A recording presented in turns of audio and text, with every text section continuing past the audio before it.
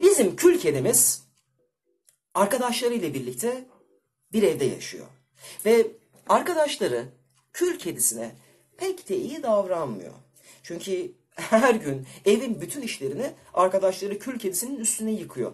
Aslında ona zorla yaptırıyor değiller. Ama bizim kül kedisi o kadar iyi kalpli ki arkadaşlarını kıramıyor. Çünkü arkadaşları biraz tembel. Hatta biraz değil oldukça tembel arkadaşları var. Bu arkadaşlarından biri bütün gün sadece abur cubur yiyor. Ve abur cubur yemekten yanakları o kadar kocaman olmuş ki koşmakta bile zorlanıyor. Hatta o kadar tembel ki yatağından bile kalkmıyor bütün gün. Ve tek yaptığı şey sadece tabletle oyun oynamak ve telefona bakmak. Bıt bıt bıt bıt bıt bıt bıt bıt bıt. Arkadaşlarından bir diğeri de çok huysuz. Ay geveze bır bır bır bır konuşan bir arkadaşı var bizim bu kül kedisinin. O kadar çok konuşuyor ki ve her şeyden o kadar memnuniyetsiz ki her şeye bir hmm, kılıf buluyor. Mesela hava o gün güneşliyse ey güneşten nefret ederim diyor. Eğer hava o gün yağmurluysa ay dışarı çıkarsam her tarafım çamur olacak diyor. Eğer hava o gün normalse "Hmm, bu ne be dünün aynısı diyor. Bu iki arkadaşını da mutlu etmek o kadar zor ki kül kedisi için. Ama bizim kül kedisi öyle değil. Eğer hava yağmurluysa dışarı çıktığında yağmurda ıslanmak onun en büyük keyfi haline geliyor. Eğer hava güneşliyse parklarda bahçelerde köpeklerle kedilerle birlikte oynuyor.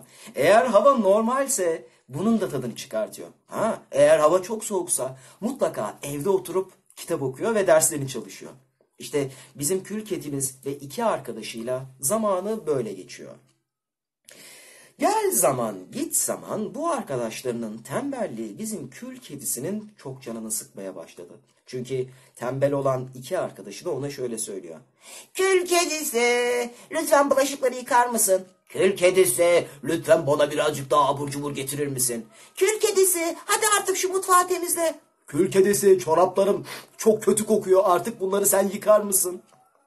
Zavallı kül kedisi arkadaşlarının bütün istediklerini yapıyor. Tamam paspasçığım hadi devam et sen. Eh bizim kül kedisinin evdeki hayatı böyle. Ha dışarıda mı? Dışarıda da çok keyifli zamanlar geçiriyor kül kedisi. Mesela okula gitmediği zamanlarda dışarıdaki insanlara yardım ediyor. Ha tanımadığı insanlara değil, tanıdığı insanlara. Mesela apartmandaki komşusuna yardım ediyor. Üst kattaki yaşlı teyzeye. Onun için markete gidiyor. Onun alışverişlerini yapıyor. Alt kattaki yaşlı amcanın faturalarını yatırıyor. Apartmandaki çocuklara her gün masal anlatıyor. Ve onlarla dışarıda oyunlar oynuyor. Evet bu iyi kalpli kül kedisinin de dışarıda böyle bir hayatı var. Eh, evde de bu arkadaşlarıyla kalmaya mecbur. Ne yapsın öğrenci hayatı. Birçoğumuz yaşadık zaten bunu. Ben dahil. Efendim bir gün kül kedisinin yaşadığı kentte kocaman afişler asılıyor etrafa. Ve bu afişlerde şöyle yazıyor. Sarayda eğlence, giriş ücretsiz, sınırsız eğlence, sabaha kadar dans. Ha? Kül kedisi dışarıdaki afişlere baktığında heyecanlanıyor. Yaşasın diyor. Arkadaşlarımla birlikte bir partiye gidip eğlenebileceğiz diyor. Ha, harika. Hemen eve gidip arkadaşlarına haber veriyor. Biliyor musunuz arkadaşlar?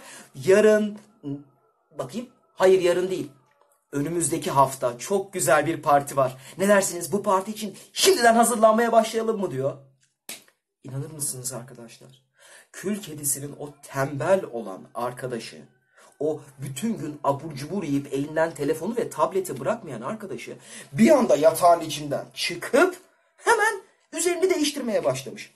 Dolabını açmış. Hmm, bu kıyafet güzel değil. Hmm, bu kıyafet de güzel değil. Hmm, bu kıyafet de güzel değil. Hmm, işte bu kıyafet çok güzel deyip üzerine denemiş ve bir hafta sonra olacak olan partiye şimdiden hazırlanmış.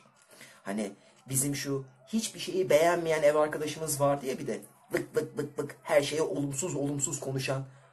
O bile hayatında ilk defa güzel bir şey söylemiş. He, yaşasın yaşasın yaşasın parti var parti var partiye gidip eğleneceğiz. Eğleneceğiz eğleneceğiz. Gül kedisi onlara anlam verememiş. Bugüne kadar tek yaptıkları şey evde oturup sadece televizyon izleyip tabletle oynayan arkadaşları bir anda parti haberini duyunca hemen evi ayağa kaldırdılar. Kül kedisi tabii ki arkadaşlarının kendilerini iyi hissetmelerinden çok mutlu oldu. Ama bir sorun var. Arkadaşları hala ev işlerine yardım etmiyor. Akşam olduğunda hala yemekleri dam dam dam dam tıkınıp bütün bulaşıkları oraya bırakıyorlar. Hala banyoyu kullandıktan sonra her tarafı sırılsıklam ıslak bırakıyorlar. Hatta tuvaleti kullandıktan sonra sifonu çekmediklerini bile duydum.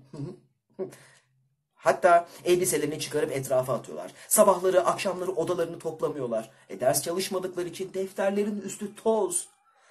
Eh, zavallı kül kedisi temiz bir yerde yaşamak istiyor. Ve her gün ellerini yıkıyor. Ve her gün onların eşyalarını topluyor. Her gün onlara yardım ediyor. Başka çaresi yok. Öğrenci evi. Bir hafta çabucak geçiyor. Bir hafta sonra evden çıkmak üzerelerken kül kedisi de en sevdiği kıyafetini dolaptan alıyor ki olamaz. Kül kedisinin en sevdiği kıyafetin üstünde kocaman bir vişne suyu lekesi var. Bu kıyafetle partiye gidemez ki. Of ne yapacak şimdi? Bir dakika. Kül kedisi kıyafetlerini her zaman temizler ve yıkadıktan sonra dolabına asardı. Arkadaşları. Kül kedisi ilk defa arkadaşlarına sinirlenmişti. Hemen içeri onların yanına gitti. Söyler misiniz bana dedi kül kedisi arkadaşlarına. Neden benim kıyafetimi vişne lekesi yaptınız? İki arkadaşı da kız kız gülmeye başladı. Kül kedisi, üzgünüm. Senin adın üstünde. Sen bir kül kedisin. Sen evde kalıp temizlik yapmak zorundasın. Hem bak benim çoraplarım çok kirlendi onları temizle. Ayrıca abur cuburum da bitti. Hemen markete gitmelisin. Ayrıca mutfakta çok pis. Şu bulaşıkları yıka. Çünkü biz partiden döndükten sonra evde abur cubur yemeye devam edeceğiz dedi. Hmm, ayrıca bu sırada şu kirlenmiş kıyafetini de arada yıkarsın dediler. Kül kedisi gerçekten çok sinirlendi. Hatta o kadar çok sinirlendi ki sinirinden gözünden birkaç damla yaş bile süzüldü. Arkadaşları ardlarına bile bakmadan kapıyı çektikleri gibi çıkıp partiye gittiler. Kül kedisi partiye gidemeyecekti. Çok üzüldü. En sevdiği balo kıyafeti çok kirliydi. Üstelik evi de bu halde, bu kadar pis bir halde bırakıp gidemezdi. Ne yapsın? Bizim kül kedisi herkes eğlenirken temizlik yapmaya razı oldu. Hem belki ödevlerini de yapardı. Ama bu kadar temizlik varken ödevlerine sıra gelmeyeceğini o da çok iyi biliyordu. Derken kapı çaldı. Kül kedisi gidip kapıyı açtı. Üst kattaki yaşlı teyze. Ha, buyurun teyzeciğim dedi kül kedisi. Bir şeye mi ihtiyacınız var? Ve yaşlı teyze ona şöyle söyledi. Kül kedisi. Herkes az önce partiye gitti. Gördüm. Sen neden evdesin? Ve kül kedisi arkadaşlarının ona nasıl bir tuzak kurduğunu ve ona nasıl kötü davrandıklarını tek tek anlattı. Yaşlı teyze şöyle dedi. Hmm. E ne yapalım? Yapacak bir şey yok. E sen de evde temizlik yaparsın artık dedi. Evet dedi kül kedisi. Ama bir şeye ihtiyacınız olursa kapımı çalabilirsiniz. Size her zaman yardımcı olurum dedi kül kedisi.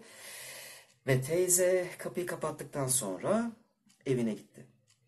Kül kedisi şöyle bir plan yaptı. Önce mutfaktan başlarım. Ee, sonra banyoyu temizlerim. Sonra çamaşırları yıkarım. Ee, sonra da camları silerim. Geri kalan zamanda da derslerimi çalışırım diye düşündü. Ama kül kedisi bunları düşünürken kapı tekrar çaldı. Kapıyı açtığında bu sefer mahallenin bütün çocukları hatta abileri ablaları ile birlikte bizim yaşlı tonton amca ve tonton teyze de kül kedisinin kapısındaydı. Kül hepsini birden kapısında görünce çok şaşırdı. Aa, e, yardıma mı ihtiyacınız var dedi hepsine birden. Ama ona bir sürpriz yapmaya gelmişlerdi. Hayır kül dediler. Yardımına ihtiyacımız yok. Aksine bu sefer biz sana yardım etmeye geldik. Çünkü ne zaman bizim başımız sıkışsa, ne zaman yardıma ihtiyacımız olsa sen gelir bize yardım ederdin. Şimdi sıra bizde dedi kül kedisine arkadaşları. Ve kül kedisine kocaman bir kutu getirip bıraktılar. Kül kedisi kutuyu açtığında kutunun içinden wow, çok güzel bir çift spor ayakkabı çıktı.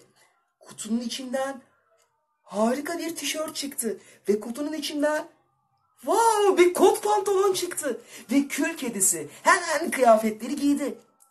Bu kıyafetler çok güzeldi. E, söyler misiniz? Bunları siz nereden aldınız dedi kül kedisi arkadaşlarına. Ve arkadaşları şöyle de cevap verdi. Kül kedisi biz senin arkadaşların sana böyle bir şey yapacağından emindik. Çünkü sen bize yardım ettiğin kadar onlara da yardım ediyorsun.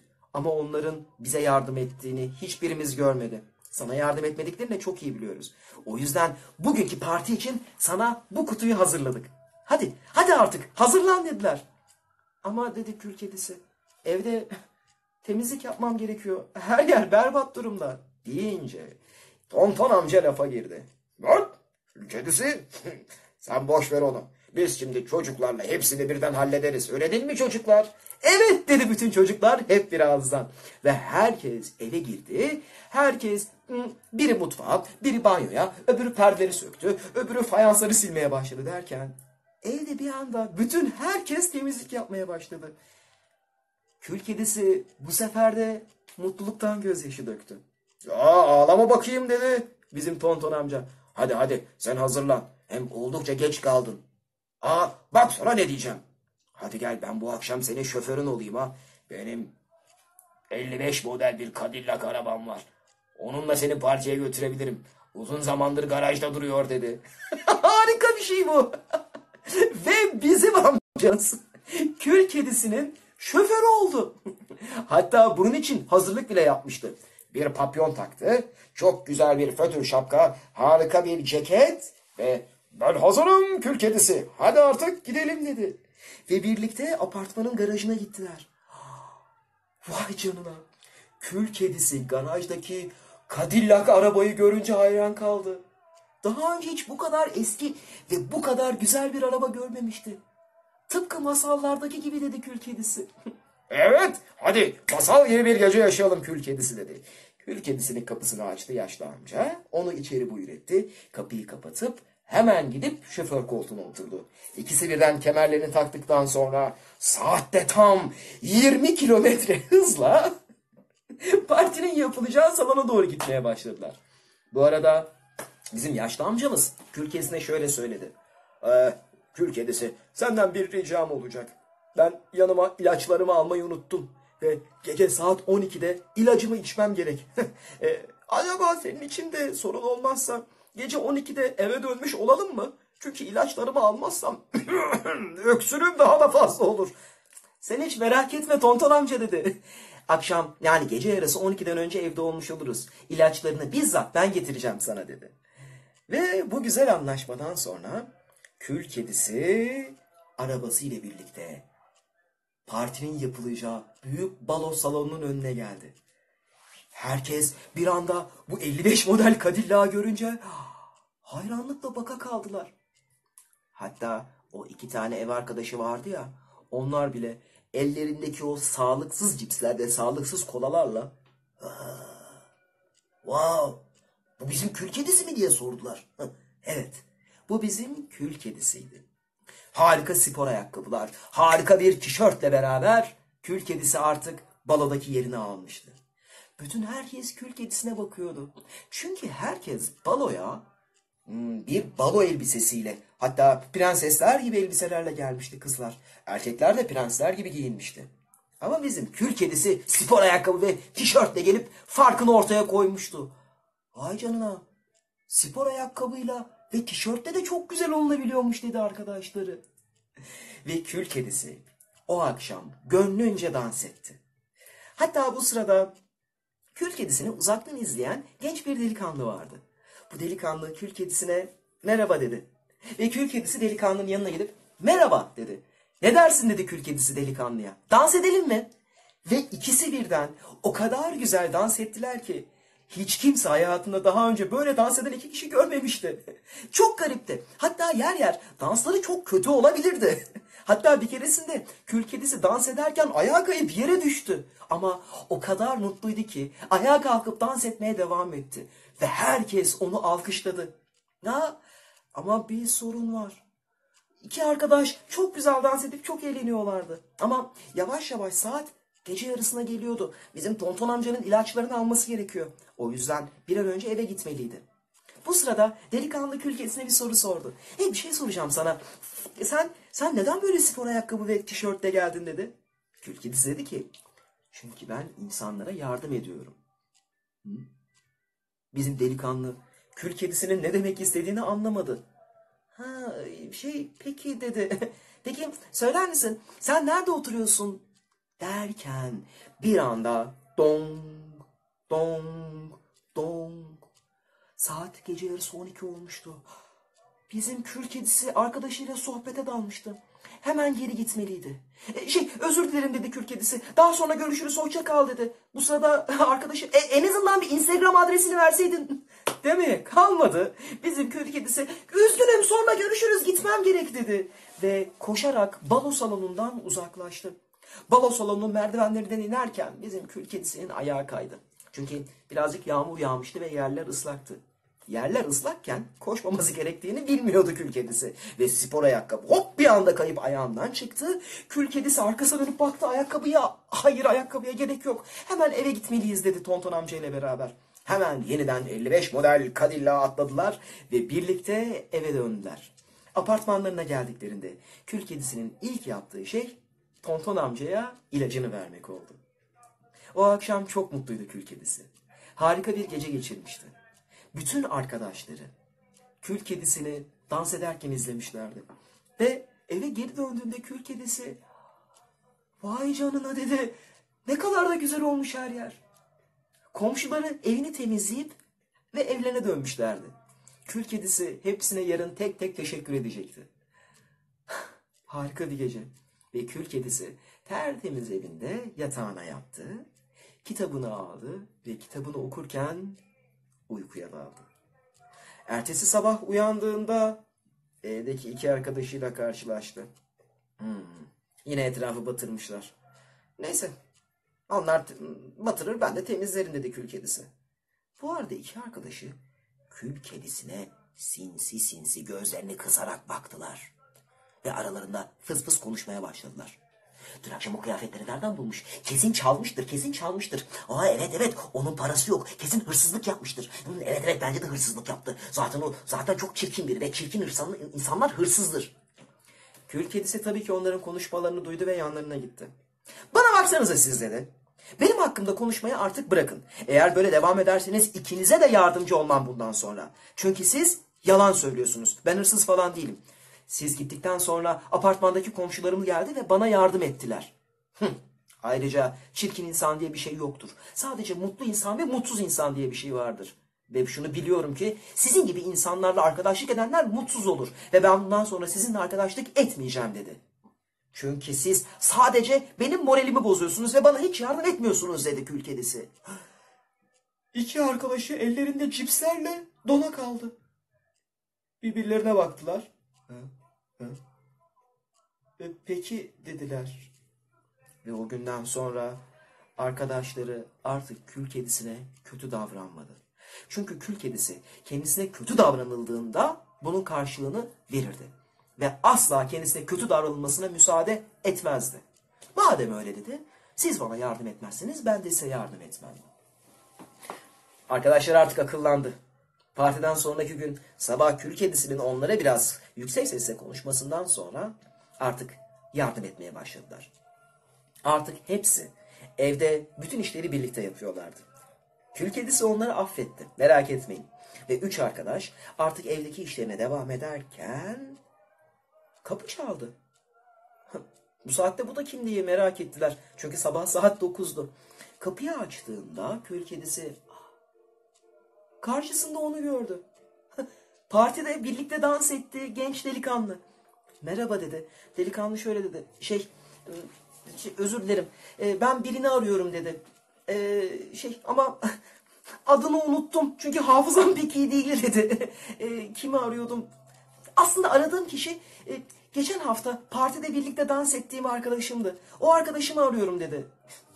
Kül kedisi durumu anlamıştı. Ama hiç bozuntuya vermedi. Ve şöyle söyledi. Hmm, ne yani? Tamam. Hafızan pek iyi olmayabilir. Arkadaşının adını hatırlayabilir, hatırlamayabilirsin. E peki görünce de mi tanımayacaksın dedi. Ve çocuk itiraf etti. Şey aslında ben gözlük kullanıyorum dedi. Ve bizim delikanlı cebinden gözlüklerini çıkardı ve gözlüklerini takınca ha şimdi görmeye başladım dedi. Meğer bizim delikanlı gözlük takmayı hiç sevmiyormuş. Gözlük taktığında insanların ona sen çirkinsin diyeceğini zannediyormuş. Oysa gözlük bizim delikanlıya çok yakışıyormuş. Ve kül kedisi ona şöyle söylemiş. Tabii ki bir şey söyleyememiş. Çünkü o iki ev arkadaşı bir anda kül kedisinin yanına gelmişler. Yani şey merhaba merhaba nasılsın? Bir selfie yapalım mı? selfie. Bu iki arkadaşı bir anda delikanlıyla sohbet etmeye başlayınca delikanlı anlamış ki evet galiba doğru yerde değilim. Ama yine de sormakta fayda var. E, bana söyler misiniz? Ben bu ayakkabının sahibini arıyorum. Acaba bu evde yaşıyor olabilir mi deyince bizim iki e, ev arkadaşı Ee, şey e, hayır bu evde yaşamıyor öyle biri yok. O ayakkabının da diğeri bizim evde değil zaten deyince onların yalan söylediğini bizim delikanlı hemen anlamış. Bir dakika demiş. Yoksa sen demiş kül kedisine bizim delikanlı. Sen evet hatırladım sen baloda dans ettiğim arkadaşımsın demiş. Biliyor musun ben günlerdir seni arıyorum. Kapı kapı dolaşıp bu ayakkabının sahibini arıyorum. Ve o akşam da gözlük takmadığım için evet kim olduğunu hatırlayamadım. Çok özür dilerim senden. Ne dersin arkadaş olalım mı demiş. Ve bizim kül kedisinin artık yeni bir arkadaşı varmış. Ve bu arkadaşıyla birlikte her gün okuldan sonra mahalledeki herkese yardım etmeye başlamışlar. Tabii bu yıllar yıllar önceydi. Şimdi neredeler biliyor musunuz bu iki arkadaş? Dünyayı geziyorlar. Ve dünyada hasta olan, yardıma ihtiyacı olan herkese birlikte yardım ediyorlar. Ve masal da burada bitiyor. Belli mi olur? Belki de o kül kedisiyle bir gün siz de karşılaşırsınız. Belki de kül kedisi bir doktordur. Belki itfaiyeci olmuştur. Belki öğretmen olmuştur. Aa, belki de dışarıda çöpleri temizleyen bir temizlik işçisi olmuştur. Ha? Belki de bir kuaför olmuştur. Belki de herkes kül kedisi olabilir. Teşekkür ederim. Şimdi masalımız burada bitti. Tamam. Niye yan çevirdim? Çünkü o kısmı makaslayacağım. Ee, YouTube'a atacağım. Yorum yapmayı açalım. Pas pas! Gel oğlum. Pas pas gel. Pas pas.